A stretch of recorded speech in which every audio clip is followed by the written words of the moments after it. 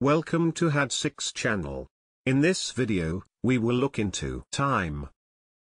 14 nouns with similar meanings will be reviewed in example sentences. Let's get started. Number 1. Stretch. Which means a continuous period of time. Stretch. For example, long stretches of time. Number 2. Stint. Which means a person's fixed or allotted period of work. Stint. For example, his varied career included a stint as a magician. Number 3. Term. Which means a fixed or limited period for which something, for example office, imprisonment, or investment, lasts or is intended to last. Term. For example, the president is elected for a single four-year term. Number 4. Span. Which means the length of time for which something lasts. Span. For example, within the span of one working day. Number 5. While. Which means a period of time. While. For example, we chatted for a while. Number 6. Duration. Which means the time during which something continues. Duration.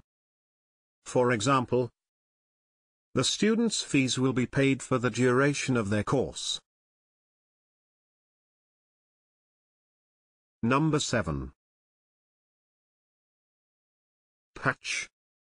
Which means a particular period of time. patch. For example, he may have been going through a bad patch. Number 8. Spell.